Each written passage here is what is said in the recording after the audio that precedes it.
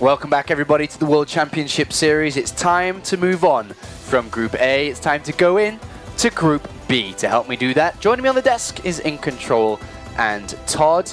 And a fantastic start to the day here. Group A was brilliant. Jeff, you're usually the, I mean, the uh, first one to jump in very quickly. I'm always here. I'm waiting for you, Todd. All right. yeah, it was it was a great Anyways, start here. Group A was a great. I'm kidding. Go ahead.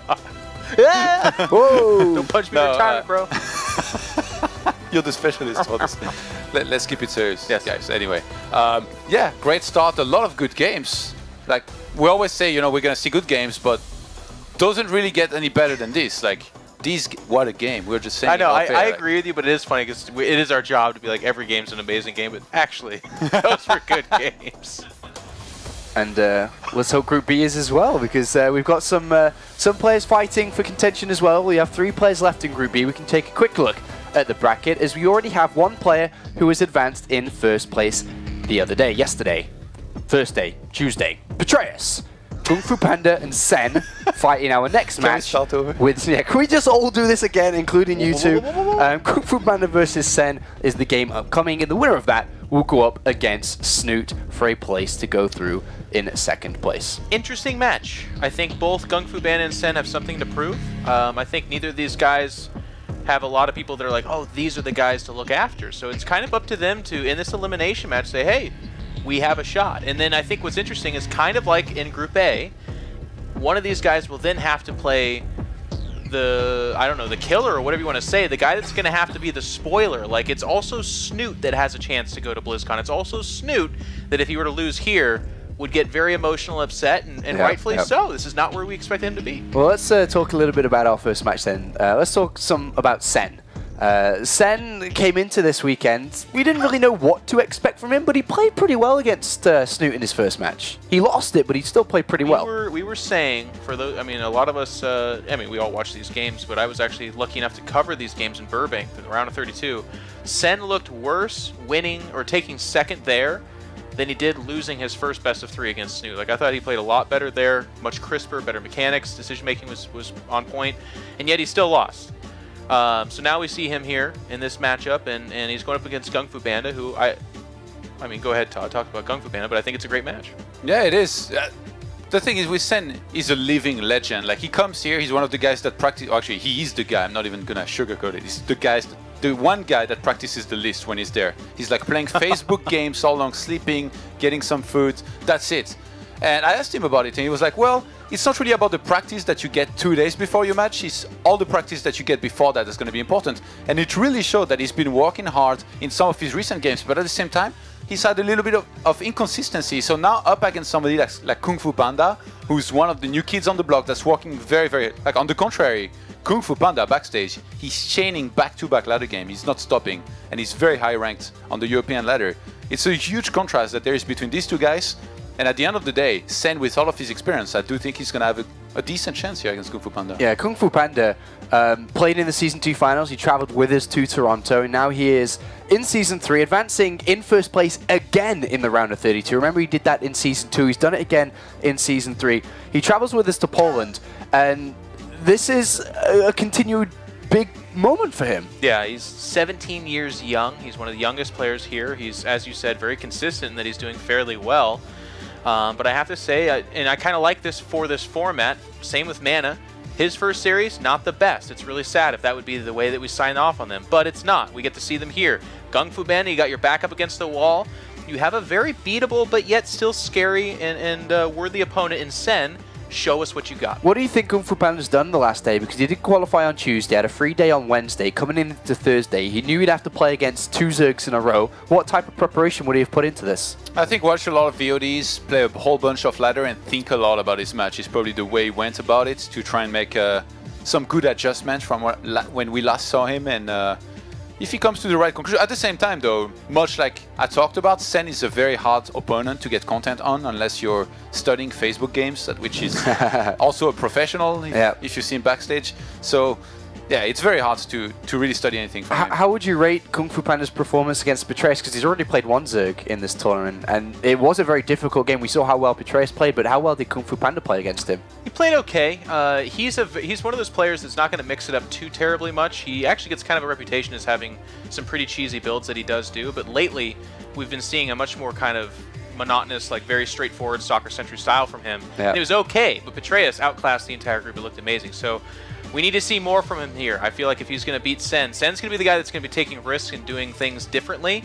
It's got to be Gung Fu Banda that either is the rock hard wall that just won't bend, or he's going to be the guy that has to adapt as well. The, the feeling that I got, sorry, Yeah, yeah. from uh, his series from his series against Petres is that he wanted to head into the late game and he seemed confident in it, but got shut down hard in that late game. So now he's up against a Sen who's very good himself in the late game. He was Yeah. a Brood War pro, one of the best outside of Korea. I think a good thing, a good option here for Kung Fu Panda to go into is three base, two base timings and try and finish it. Because if he goes to the very late game, hive Okay. tech, transitions, he's dead. He'll be tough. He's dead. It's going to be hard. Uh, let's take a look at the map pool now, because the players, uh, as always, are just moments away from starting this. Uh, they've selected their maps. It's going to be Coda, of course, Cactus, of course, Terraform, of course. These are the three maps we've seen a lot over the last couple of days. Are these maps here that are going to be very easy for Kung Fu Panda to look to play that 10, 15 minute game and not let it get past that? No, we constantly see. I mean, I've, I, I actually just. I'm nowhere near the StarCraft 2 historian that a lot of these guys I'm working with are, but I, I already mentally draw up like five Gung Fu Banda Coda PVZ games where it's always Stalker Sentry, take a fast third, absorb the defense from usually Hydra Ling, and then either win or lose based on how well he handles that fight. That That's actually also that map, to be fair. Uh, Sen likes to do those Hydra timings. He'll just pour out the Hydras, skip Yep. roaches. And then Cactus Valley, of course, it, it's going to get interesting there. It gets a little bit bigger, four-player map. This is where I think Sen has some good options. Taking a third is hard there, and counterattacks are strong, which is what Sen really likes.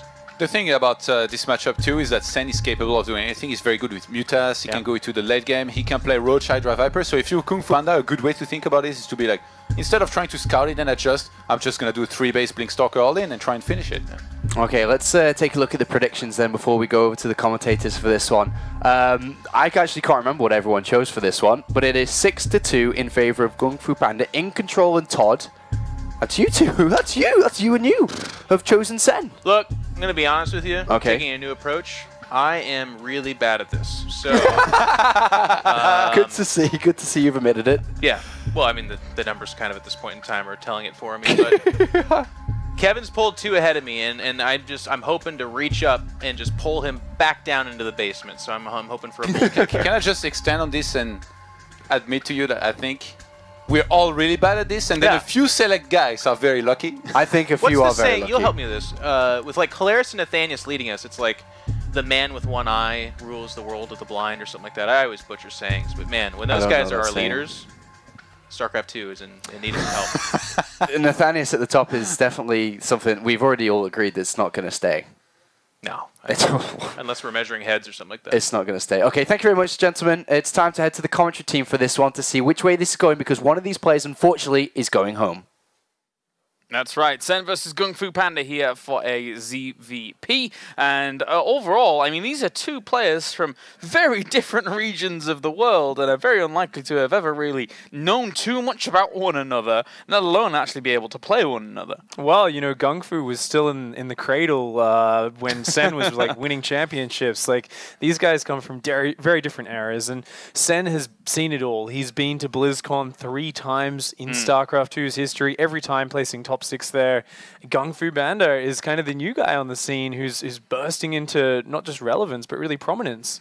It's a really odd match though. You've got these guys with no history together, and when they clash here, it's all going to come down to who's standing at the end. Let's going to figure it out now in our elimination match of Group B as we have Gung Fu Panda going up against Sen. First map, indeed, will be Coda. We have spawning down at the bottom right-hand corner. It is our blue Zerg representing Hong Kong Attitude. It is Sen. And at the top left, we have our red Protoss representing Planet Key Dynamics. It is Gung Fu Banda.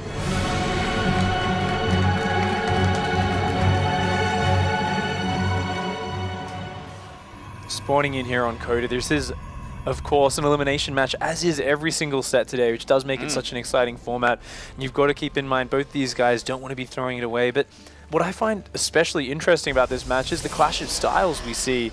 I mean, Gung Fu Band is known for his aggression, right? This is a very aggressive player, loves to do some sneaky Dark Templar plays, lots of cute timing attacks. And Sen on the other side of things, I guess I see him as like one of these very old school players where he likes to really try to macro up very heavily. Yeah. But I feel like once he gets to the mid game, he doesn't really try to head towards Hive Tech. He's very like stay on that mass Roach Hydra, maybe add some Vipers in the mix, but it's all about the Zerg Swarm, hmm. throwing wave after wave at Gung Fu. So you've kind of got Gung Fu, who's got this very early game prominence, and then Sen, who in the mid game wants to finish it. And there it does create a real clash of styles. And it's an interesting thing that you bring up because stylistically, if if that is something that Sen is going to be bringing to the table here, Kung Fu Panda has a lot of uh, experience against similar kind of styles in the German region, going up against uh, Zergs like Lambo, for example, uh, one of our most recent EP, well, I was about to say EPS champions, but Meisterschaft, Meisterschaft. champions. So uh, that's that's definitely something that he may be able to consider here if he's able to spot similar nuances to him when he's going in towards that mid game. Absolutely, and it's something where there are so many options available, and that's what is going to keep Sen on his feet. Of course, both these players at such a tense moment are going to be thinking about what are all of those options.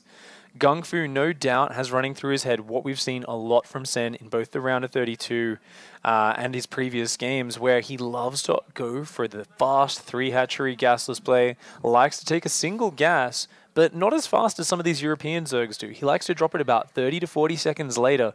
So he does get a Zergling speed at this kind of middling timing, which allows him to be aggressive. But if Gung Fu does feel like do- doing some very early aggression, Sen's shown in the past that he does struggle against that. Yes, it does. And for now, we are just having a, a second observer actually dropping out here. So hopefully our players keep themselves composed. And, and once that second observer is dropped, we will be able to get back into the game. Gung Fu just looks so nonchalant. Even in, you know, Yeah.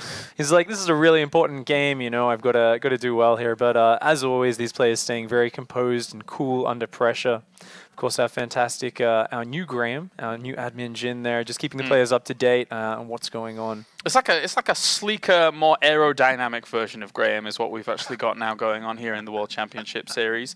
Uh, Also speaks fluent Korean. He's actually a Very useful. fantastic admin. Uh, much experience working for Casper. yeah. But yeah, I mean, this is one of those moments. Uh, I mean, I've been there many times as a player, and it actually is very important to keep focused uh, in this situation. I know in the past, especially when I was newer to tournaments, I'd uh, often kind of tilt in these scenarios. I'd be like, when, when are we starting? What's going on? What someone else is lagging now? And you, you get thrown off. But Gung Fu, we've seen in the past, he's got that almost Stephano-esque attitude. He doesn't Mm, care. He's just like, whatever. We'll just play the game when we play it, and I'll do my build, and I'll, I'll win money and points Yeah. and fame. And not afraid of dancing his units as well, that we actually managed to watch in the round of 32. But now we can get back into game number one here, as we already have this probe moving across it. It has been a gateway opener, so Sen doesn't have to worry too much about this. But right now, of course, he doesn't know what's going on on the other side of the map. Mm, Gung Fu opening up very safe with a gate first and uh, a probe scout going to be coming across the map to check what's going on. Looking like he wants to be going for a gate into Nexus, so it's kind of one of those very middle of the road uh, economic openings. Meanwhile, Sen going for hatch first and ooh, seeing this probe, he's still sending his drone to his third base. So even though Sen doesn't know if there's a forge or not, looking at that probe timing, he's saying, you're probably gone for the gate build, and I'm going to take the risk. And this is so Sen. He is so unafraid in his openings. He says, if you're going to cheese me, bring it on. I'm going to take the risk. And he goes for three hatcheries before pool. A fantastic ballsy opening from Sen. Yeah, cheeky guy overall. Nexus is going to go down behind this, and it will be spotted instantly by that Overlord as it falls. Uh, but with that, I mean, uh, does is there any room to put any pressure on, like with with a Zealot, or is there? I don't think he can really do much, right, against Oh, well, Gung Fu. He's put the Nexus down, but he's actually dropping a reactive forge. Rather than dropping his gases here, What he the- wants to go for the reactive cannon rush. But notice how he's not building any zealots, and he's going to throw down the gases as the Overlord sees it to make it look like he's doing a normal build. Yeah. Now, Oh. if Sen's on point, he'll realize that gas is late, and he may actually think, hmm. But at the same time, Gung Fu is already starting the pylon at the third base. All he wants to do is cancel the third. He's still doing an economic build at home, just a small commitment, and if he can cancel the third, it's fantastic. But he sees the Yeah. forge! And this is where Sen is going to have to react so quickly. But with a cannon already down behind the minerals, what can he possibly do? Yeah, very, very difficult to deny. Even if any units got over there, they would still just be thwarted by an extra pylon that would go down here for Kung Fu Panda if he's keeping his eyes on it. And yes, he is. So, but it's Oh. only a oh. drone. Creep roach spread's going to come out though. So ooh, Gung Fu, he needs to he needs to figure out if he's going to try to protect Okay. this. I need to put more cannons down because if Sen can hold on to the hatchery and shut down the cannons with just Zerglings and Queens, which it looks like he's committing, then that's going to be huge. And with only two cannons, I'm not sure if this is going to be able to take the hatchery out for Gung Fu. 14 lings in production here for Sen. The probe's going to head on up. He sees a few other lings, sees maybe a few more hatch here, and then once he's able to spot those, Oh, yep, spots a few more hatching. He's got the information, so he knows, but he's already committed as much as he can. Because the probe goes down, looks like Gung Fu is committed. He's going to say, okay, at least if I force enough Zerglings out, this should be okay. But Sen is committing a huge amount to hang on. Yeah. If he loses the hatchery, he is just incredibly far behind because he's all these Zerglings. That's a lack of drones. He's got to get in there right now and shut this down. All the queens coming along to help this out as well. Going to go on towards the cannon. The second one's going to take some damage as well. They're focusing on towards that uh, hatchery though. And will he be able to kill it in time? It's going to be very, very close. And it does go down just Oh! before the cannon gets cleaned up. Big pickup here for Kung Fu Banda. Sen goes in just a few seconds too late. He misjudges it. Gung Fu with the clutch call just focus fires the hatchery from the first second and takes it down. And that's a huge win for Gung Fu. I have to ask, wouldn't have going for the pylon have been more effective? In that, just shutting them down from being able to fire and stop them?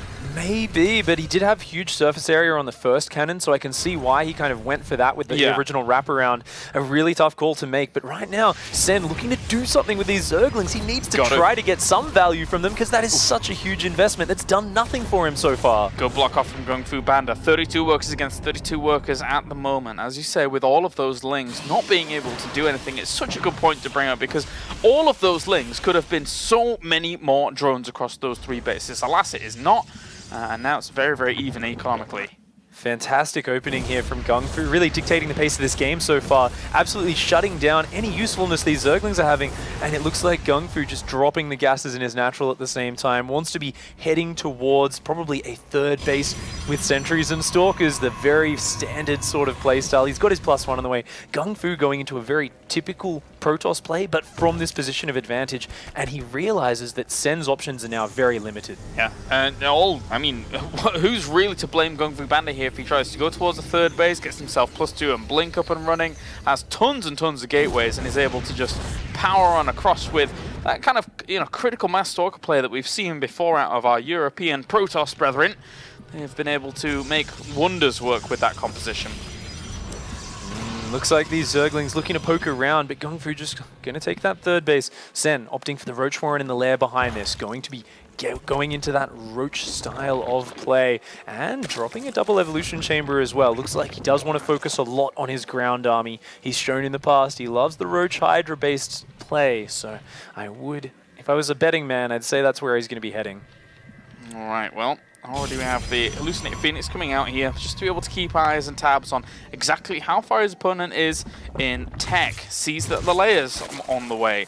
See what he can find out in the natural. Sees that the two evolutions are just popping. So didn't quite see the Roach Warren towards the back, but I think he can pretty much infer that it's going to be a... I was going to say a ranged tile, but it's actually going into melee. You know, actually, I guess seeing the delayed Evo chambers like this and next to each other, it may indicate that because you do often see the kind of double evolution chamber at the same time with the Hmm. melee style. Of course, no way for Sen to tell just yet, and he is going to push across the map and he's going to try and pressure. He wants to just slow down Sen from adding on drones, but if we look at that worker count, Sen's caught up very nicely. He's gone right to 70 workers, and he's now trying to get roaches out desperately because he wants to defend this pressure without taking any drone losses. into first person now as we see Gung Fu Banda trying to loop on around here, get himself creep denial. That's a good start thing of things. Even just trying to saturate his third location, but throwing down extra gateways, completing those walls so he can't be uh, vulnerable to any of those counterattacks. And at the same time, of course, this army is always got the insurance policy of being able to recall out. He just wants to continue to force these these units out from Sen. Oh, some Ooh. force fields coming down, but doesn't get a lot with it, and it, that's a lot of Zerg units. I don't know if if uh, Yeah. Gung Fu can really push in. Got to be very careful about that. Throwing down the Robo behind it as well here. Uh, with plus two and Blink still on the way. Infestation Pit's already gone down. And now this is where Gung Fu Panda really needs good information as to what's going on there in regards to his opponent's uh, setup, uh, where he's, uh, the direction of this game is going. Because a lot of roaches can often mean the opposite, but Gung Fu needs all the intel he can get. Mm, Gung Fu being forced to retreat here. Sen is out for blood, wants to trap these units. Oh, it does stall for just a moment though, and it looks like Gung Fu with his tactical retreat is doing very well, picking up a lot of speedlings as he falls back. But he's using up a lot of force fields, and this is a very fearsome number of roaches, so Gung Fu needs to be a bit worried about the counterattack. Yeah, and will recall out now. Uh, the longer he delayed the recall, actually, the more opportunity the Roaches would have had to counterattack he would have been closer. But the Hive is morphing in. So is the Spire as well. Plus two and Blink going down here for Gung Fu. They're about to finish up. But again, still needs good intel. He flies in. He sees the Hive morphing in there with his hallucinated Phoenix, which is very important here. What an important scout. Seeing no Hydralisks out, a large Zergling count, he knows exactly what's happening. And we do see a Templar Archives going down. Gung Fu wanting to round out his tech maybe with some Storms, some Archons to buffer. And he's already adding Immortals into his composition Mm. to deal with these Roaches. Of course, Gung Fu, more of an early to mid-tier player though, may be uncomfortable. When we see Broodlords enter the fray in the near future, we already see an Infestor in production, and fascinatingly, a Hydralisk then out of Sen. That would be a, a really weird transition after you've already gone for this Zergling-based upgrades and this Broodlord Yeah. play. guess he just wants all options available to him here against Gung Fu as he is posing a little bit of a threat outside towards this. Of course, there's the um, also the Warp Prism in production here that can try and buy him some time, but it looks like Kung Fu is really not pressing any issues at all. He is just sitting around and waiting for things to happen to him. Sen does realize how fearsome this army is. He doesn't have any upgrades on the Roaches except for Roach Speed, and he doesn't have that many Zerglings out yet, so afraid of a timing, he's actually building Hydralisks right now. 13 Hydralisks, but no range upgrade them for them, no range upgrade at all, in fact, and putting down an Ultra Cavern. Sen going in multiple directions with his tech, he seems a little bit unsure of how to deal with this pressure. Yep, and uh, with this actually being sacrificed off basically this base completely, that's a really nice pickup here for Gung Fu Panda, who does start to press the issue. Even some zealots towards the left-hand side. He sees a lot of Hydralisks popping down there, which uh, could be a good sign that your opponent's panicking at this point. Sen really is panicking right now. He had the numbers to handle this a lot easier by just reacting maybe with Zerglings. But Gung Fu, look at his supply. He's only at 145. He's investing in upgrades, Storm, and tech at home right now. That was really a light pressure, and yet he got a fourth Yeah. base, killed a few drones in the third, really limited Sen's ability to expand from here. And only now does Sen actually start the Greater Spire. It looked like it was his plan from early on, but what we're seeing from Sen is a lot of divergent tech trees that don't really complement each other. He's only now adding on Hydra range, but he's adding Ultras and Broodlords and a single Infestor. I'm not really sure if Sen's army is coming together just yet. A few minutes down the line, it's going to be fantastic, but right now, it's a little bit awkward. When you've got one of everything, how are you supposed to counter it? You can't counter everything. Although numbers, sheer numbers might help. Yeah, I mean, when if the, the Hydras and Roaches make the bulk of your army and they don't have any attack upgrades, that's a, a real bummer. And Sen, he's got the Ultras on the way. They'll, they will have 2-2. They will have Chitinous Plating in about a minute and a half's time, so his army will be much stronger then. But it looks like Gung Fu doesn't want to give him the time. Gung Fu's at 175 supply. He has a lot of Storms in here, a lot of Immortals. This is a very scary army. Yeah, against Roach Hydra alone, and especially with if the Hydras are hit by storms, they will sh be shredded up very, very quickly. Gung Fu pressing the issue, throwing down force fields, trying to cut things off, sees the Ultralisks on towards the third base here. They're currently isolated away. Ti uh, Time Warp as well as Storm does hit some of this army, and that is a very, very small paltry force on this right-hand side indeed, with a good Storm hitting in the middle of them. Ultralisks going to come from the back side here, but actually denied the movement forwards there by even just a sentry that was separated off forwards. Those two Ultralisks had nothing done. Low numbers of units coming in piecemeal, a few at a time. Gung Fu with the Zealot distraction on the south split the army in two, isolated half of it, destroyed it, and then cleaned up the other half when it came in too late. Beautiful maneuver from Gung Fu. Sen falling apart a little bit underneath the pressure. He needs to try and remax, but look at how fearsome this Protoss ball is. And now he sees the Greater Spire in this location as well. There's going to be the fungal growth down, but the concave here for the Protoss is good. The two Ultralisks are going to melt away at the front, and there are very few units left here uh, for him. Aside from these Ultralisks that have actually just been able to swell up forwards, but as long as he's able to just blink back with some of these units, they, all these Ultralisks are going to fall again. Lings are going to filter through, but there's still too many Stalkers for him to actually break this location. Oh, those Immortals did so much work. They took out three or four of those Ultralisks very quickly, and now an Archon at the front, being the anti-Zergling cannon that he is, Gung Fu is on top of Sen's production. There is no way for Sen to get his reinforcements together, and Gung Fu is going to push in with the finishing blow. Oh, even the greatest spire falling is an odd choice to put it there. I mean, a little bit hidden, I suppose, if you're hiding in plain sight. But once this location gets breached, it is all done. GG, game number one goes to Gung Fu Panda here in this best of three elimination match. Decisive and strong play from Gung Fu right from the start. The cannon rush, putting Sen on the back foot, and as impressive as Sen's recovery was, Gung Fu just showed he was made of sterner stuff. Sen going in a few too many tech paths, but Gung Fu staying strong, reacting to what he saw, and just splitting Sen right down the middle. All right, well, that was uh, very, very well done there by Gung Fu, who played it I would say patiently more than anything. Aside from, I mean, even some like small little reactions out of him to actually go for the reactionary forge. Not what mm. I was hmm. expecting out of Gung Fu Panda, but a nice little kind of tweak to the build uh, there for against Sen.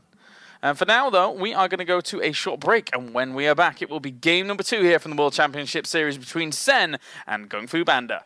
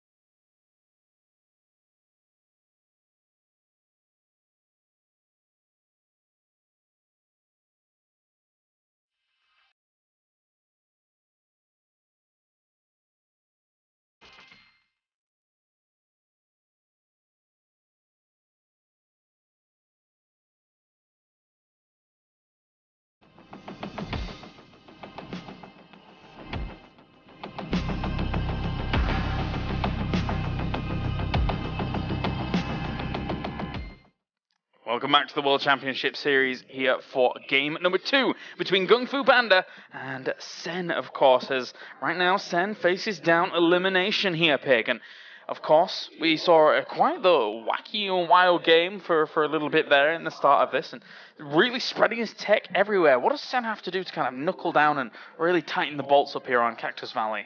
Well, really impressed me with how he played that game. I loved the ballsy three hatch opening. Mm. Even though Gung Fu went for quite a risky kind of reactive cannon rush, like if Sen sent, sent a drone down and scouted that, I mean, he could have stopped it. But even after that, he recovered and he was in a Yep. good position. But I think he needed to just be a little bit more focused in his game plan. Focus on that hive tech. You don't need to build hydralisks. You can just you know commit to that path you're going. I think if he just st- stays strong and confident here, then he's in a fantastic position. Well, it's time to dive in. It's going to be game number two here between Sen and Gung Fu Banda here on Cactus Valley to determine who moves on to the decider match here in Group B. We have spawning down to the bottom left-hand corner, it will be our blue Zerg representing Hong Kong Attitude. It is Sen.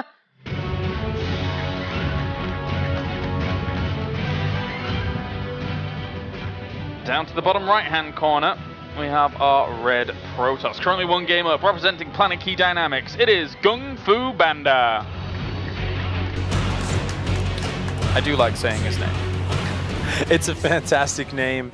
One of the most mispronounced player names, but he is such a decisive player, and I, I was really impressed. I actually felt like that last game, Sen was heading to his comfort, well, one of his comfort zones, you know, adding in the Hive Tech and just kind of batter batter down Gung Fu with like some Broodlords and Ultralisks mixed in with your Roach Ling, and I thought, oh, this is the stage where we saw Gung Fu struggle so hard against Pet, but he kind of scouted what was going and immediately was like, all right, I'm just going to make Storm, add a few immortals, and I'm going to push. I'm going to just charge in there. And he found it an opening really well and pushed right through Sen's defense. I especially love, I think, one of the most exciting parts of Gung Fu's play is his ability to, to distract Zerg players, always sending in those Zealot counterattacks right as he's pushing with his main army in another area, and that always seems to be where he opens up those holes in their defense. Time for the gateway opener this time here for Gung Fu, who is going to be checking cross spawns first of all locations. I was a little bit wondering as to where his probe was going to go, but it's going to head all the way over the other side here. Interesting. Uh, you know, some people just prefer to scout uh, that way because often the Overlord of the Zerg will come in, you'll spot this, and this will kind of rule it out for you exactly Yeah. where he is. And I mean, it's up to, to Sen whether he chooses to show the Overlord. He doesn't. He actually pulls it back from the natural of Gung Fu Banda. Um, so he's, he's steering this Overlord kind of around. He's seen the pylon. He's saying, all right, I'm not going to show you where I am. So Gung Fu's going to have to keep on scouting. Now, the difference with this opening that Gung Fu's doing compared to last game is because he's getting that gas much earlier, he's going to have a much faster warp gate tech. He's going to be able to put on some potential aggression really early on. Right, and third hatchery is going to go down here whilst Gung Fu once again sends his probe in the incorrect direction, but obviously now seeing that neither neither of those locations were the case, he's ruled it on out, as well as this Overlord having shown itself, so there's no down towards the bottom left, but at the moment, Sen is getting away with uh, quite a, a lovely opening here, having uh, plenty of economy to fall back on. Absolutely. I mean, Sen's open up, opening up with a fast three-hatch gasless. But if we look at Sen's Overlord, uh, he has spotted the lack of gas in Gung Fu Banda's main base, and he sees no Stalker building here. So what he's looking for right now is, are you going to chrono boost that cybernetics core, and are you going to take that second gas? And interestingly enough, Gung Fu actually building a uh, Zealot out of his gateway, not a Stalker, not too worried about being scouted right now, but on Sen's side of things, he has to be thinking, "E- are you going to chrono boost that cyber core now that my Overlord's leaving? Are you going to hit me with a fast gateway attack? And this is exactly what Gung Fu's starting to do. Not adding the extra gas means he wants to commit to a lot of Zealots in this potential attack. And uh, Sen, on the other side of things, dropping a very oddly timed gas that's not really going to kick in in time to help out against this. Interestingly enough, I think something was clicked very close to the cybernetics core once again. It's not this Overlord that's got queued up. It looks like it might be the Zerglings, but there's no way they're going to be able to get in anytime soon. So that Overlord, once again, towards the north of that base, He's going to be the one that has to go back in there, and it is going to go back in there to try and spot exactly what's happening. Oh, and the fourth gateway going down in the main. Gung Fu going for the San gate. But Ooh. look at this scout from Sen poking Perfect. back in, checking the Cybercore, seeing that chrono boost. That's got to tip him off. He's going to go in for the full sacrifice. Oh, no. He sees the lack of ga- Yeah. uh, gas miners there. Pulls back. He knows exactly what's happening. So right now, Sen is pumping extra queens, adding more Zerglings. He's got to figure out how is he going to defend this because this is going to be a lot of Zealots warping in right on the doorstep of his third base. I like this. Well, we're right back into Sen World, as you mentioned. Uh, sorry, San World, as you mentioned before, the San Gate, and this four-gate zealot pressure that we saw a long time ago in the World Championship Series. Now, One San, a very infamous Protoss in that regard, a lot of games to the point where he almost had a, I think he did for a long time up until BlizzCon, a 100% win ratio in this matchup. So it can be strong, but it's been figured out. Now it has, and the thing is, Gung Fu knows it's been figured out to some extent, so because it's been scouted, he's actually added a second gas behind this, hidden on the back Yeah. of his natural, and a forge, and he's actually not committing. He's chrono boosting probes, and this is the moment here where Sen sees it. Sen, on top of his scouting, sees the second gas, sees sentries at home, he says, hey, these aren't zealots mm. outside my base. Instantly, we see Sen is going to probably start some more drones up in his production tab, seeing this extra gas as well. Sen will know that he's safe now. One Zealot gets swapped in to protect this because he knows that that Zealot itself is going to be pretty cost efficient against those Zerglings for a moment at least. Uh, and then try and delay that from going down. So he's just trying to force out more of a reaction there from Sen. Not going to be falling for it though. Drones, drones, drones. Now keep in mind, Gung Fu has delayed his tech a lot. His plus one's late, he's only got a few sentries, doesn't have a lot of energy, but in that worker count, he was ahead about almost 15 workers for a short moment there. So Gung Fu has sacrificed his tech in order to put on the illusion of pressure Yes. while chrono boosting his probes like crazy. So this has given him an economy advantage. It slowed down Sen a lot, but we see Sen is going to have map control with this mob of Zerglings, and it's going to take Gung Fu a while to secure his third base. Yup, uh, sentries are going to move out there for a moment uh, with extra ones warping in here. So now Sen still, drone, drone, drones, getting himself the Lair on the way. Another pylon's been spotted up towards the top. Those Zerglings will be able to shut that down. Uh, and he doesn't really need to make any more here. As much as uh, Gung Fu would have loved to have tried to move out with those sentries and then force out more units, there's already too many Zerglings for him to ever do that. I mean, it's, it's great overlord positioning from Sen, spotting all these pylons, Yeah, figuring yeah. out where it all is. But because all of those Zerglings pulled back just to deal with a probe and a pylon, this Nexus is allowed to go down, and this gives Gung Fu a little bit of time to try and secure that. Because if Gung Fu can get this up, he knows Sen's being slowed down. He's going to be really happy, but he's going to need a solid defense here. Gonna have to indeed. At the moment, there's only one pylon there. Needs to add on a few, uh, another one, and then wall and sandwich in a cannon uh, eventually to make sure that nothing's gonna be hit here at this location. Because those Zerglings still pose quite a threat unless uh, he's uh, right on top of being able to throw down those force fields. Oh, interestingly enough, Sen behind this, not only has he been droning like a crazy person, saturating all three bases, but he's got the double Evo chamber, going for the infestation pit. Looks right. like he wants to tech towards Hive like he did in that previous game. Of course, he's just got to stay on tech this time around. And oh, the Zerglings coming in while all the sentries have left the base. Looks like he's going to go for that cancel. I might be able to get it here. This army is way far out here, so this is quite ambitious, to be honest with you. I mean, maybe he was looking for this as a fake, but all those sentries alone, I mean, Oh, running into the spine crawler. That is, oh, taking so much damage. And the third base is going to go barely. Is it? Oh, wow. What a move from Sen. Forcing the cancel, cancel, defending the pressure with the spines. That puts him in a phenomenal lead right now. definitely has to be very, very careful at the moment. And I, I'm really surprised that he actually did lose one of those sentries over uh, there at that location with that small move out that he went for. Now completing the wall off. Zergling's running in again here. The Hive is on the way, so it's 1-1 for Sen. It's all been spotted. Gung Fu sees the hive. He sees Zerglings kind of throwing their numbers away a little bit, and there is no probes in the production tab right now. If we look at this, Gung Fu, yeah, he's remaking the Nexus, but he's also making an extra gate and a Templar Archives. His plus two and Blink is lining up. So Gung Fu, sensing the, the situation is in, is saying, yeah, I'm behind, but guess what? You're being greedy right now. I'm going to add some Archons into the mix, and I'm just going to attack and kill you. As I say that, he does start up some probes and a Robo, so it looks like he might be having second thoughts and going back Yeah. down the economic route. I can definitely see your thought process though with how this all lines up because it's not every day a Hive is this early in this matchup. It's not every day you're going to be facing off against that higher tech with the lack of tech that you have on the other side here as Gung Fu. So uh, it has to feel a little bit pressure for sure. some big uncharacteristic gaps in his pro production is definitely going to slow down his build up after losing that third. So uh, Gung Fu definitely feeling the pressure. But Sen on the other side of things, look at how much money he's banking. Sen not making up his mind on what he wants to build just yet. Looking like he's just starting his Spire, he is starting his Ultra Cavern, and once again adding Hydralisk range. This is such an unusual tech path. Looks like he's basically saying, these Hydras are my insurance policy, but he has to make sure he doesn't overcommit to them like he did last game because they do not have any upgrades. Hallucinate Phoenix once again sent gets sent in. So even sees the spawning pool wiggling away, so he knows adrenal glands is going down.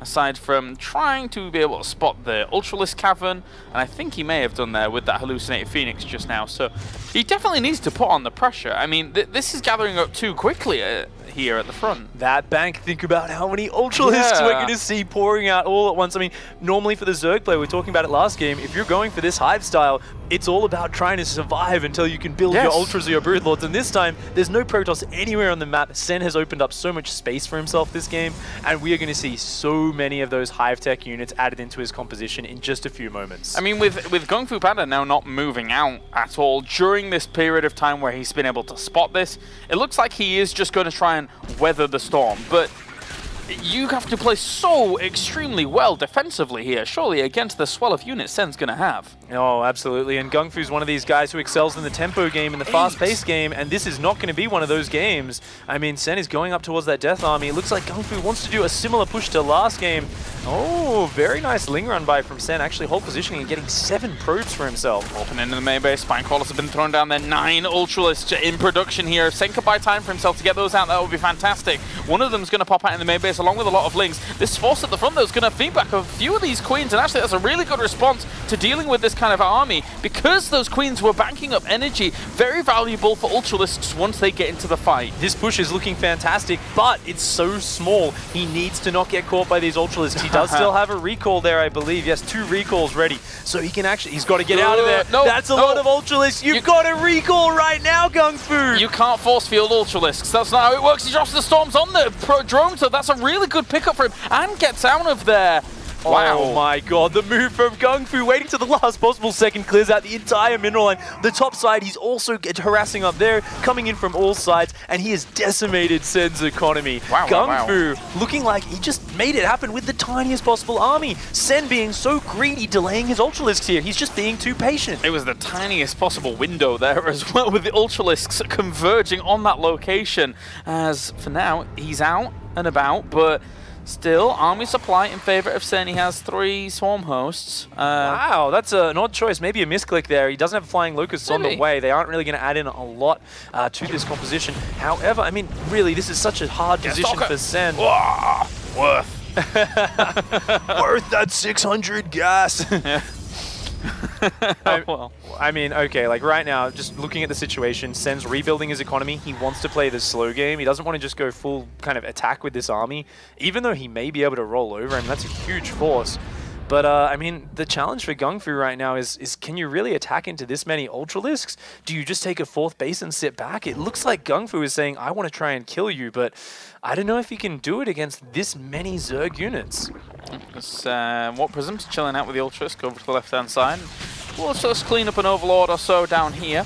Sen's uh, creep spread in the middle of the map has actually been quite nice, so that will give him any heads up toward those kind of attack angles. But one big important attack angle is down towards his kind of lower third base location where the army is moving forward. So he doesn't really have much of a heads up aside from that Overlord that he did kill. These uh, changelings are going to have to be the precursor to this army actually being uh, moving forwards. Mm, the Changelings see everything. This is still quite a small ball. There isn't that much meat in front of it. But once again, it's Gung Fu. It's all about the harassment at the same time as the army, pulling him out of position up the top. And the main army starting to thrust through. He's going to try and launch his way in here and abuse this choke point. Sen cannot attack into that choke. Yeah. This is a fantastic abuse of positioning by Gung Fu Yeah, Banda. especially if he can keep the Immortals alive behind the gateway units here. He's actually hallucinating a lot of Archons there to try and tank up some of the damage. A brilliant move here from Gung Fu Banda. Is he going to be able to work out? Looks like it's doing a lot of work. Oh, Indeed, the wow. Ultralisks melt away. Absolutely nothing to buffer, no blinding clouds or fungals to support. The Ultralisks on their own are destroyed by the Immortal Archon combo. Where are the five Broodlords? There are five Broodlords morphing in. It doesn't have that much AO, uh, anti-air to be able to deal with those, but he actually finds two onto the left-hand side with the small number of Stalkers that he has, and they're eventually going to get chipped away at. But he's done so much damage aside from these Broodlords morphing in. There you go, GG. Gung Fu Banda takes the series 2 to 0. Such precise play. Once again, looking like he was finding himself in a hard position at multiple points in that series, yet always finding his way out of it, always attacking in multiple places at once, and always finding the openings. Gung Fu, once again, just forcing the victory. Really well done there from Gung Fu Banda as he keeps himself alive. At the same time, though, Sen is now eliminated here from the World Championship Series. We'll head over to the analysis desk to see what our lads think over about that series. Thank you very much, James. Um, a good 2-0 for Gung Fu Banda. A little bit disappointing there for Sen, uh, but the German advances, Todd. Yeah, uh, he did the job in the end, and uh, I didn't expect Sen to play this greedy in, you know, taking a big risk, not starting units for this long, and uh, I think that's why I predicted him to win. But in the end, played a little bit risky here and uh, got punished for it. I, I mean, to be honest, and uh, I'll just say this once because it's not good to focus on the negative, but I was it was quite poor by Sen. I thought. I mean, and, that, and that's kind of what we've seen. It's been like pretty sharp, great mechanics from him, or uh, not a super good game. And, and I felt like uh, in this this was an unimpressive showing of him, but. I think a tip of the hat is in order for Gung Fu Ban. The young man had his back up against the wall, is facing Yep. a very good Zerg. We saw some great ZVP from Sen uh, back at Burbank in the round of 32. Unfortunately, we didn't see it here, but he was able to take care of business. It's a, it's a good warm up though, uh, leading into the next match. Gung Fu Banda's you know, stretched out those fingers on the keyboard, uh, but he goes up against a very difficult opponent in Snute next. Yeah, absolutely. Uh, Snute, who's going to know him a lot better uh, than Sen did, and obviously they play on the European ladder, so there's going to be all that meta come into play, and uh, I think he's going to play a huge role with the upcoming series. I was actually watching with Snute, so I heard a lot uh, Okay. on what he thought, and uh, it was already very interesting. All right, well, uh, Well, save it, please. Yeah, please, Don't- don't Todd. Share it now, Todd. uh, let's check in with the bracket. As unfortunately, we've lost one of the players again today. We've lost two before. Now another one is eliminated. It is Sen, which leaves us with one match left now in Group B. As already mentioned, it's going to be Snute versus Gung Fu Banda in a game which a lot of people are going to be looking at. Germany takes on Norway in this one. It's going to be an exciting one. When we come back, we're going to go straight into it.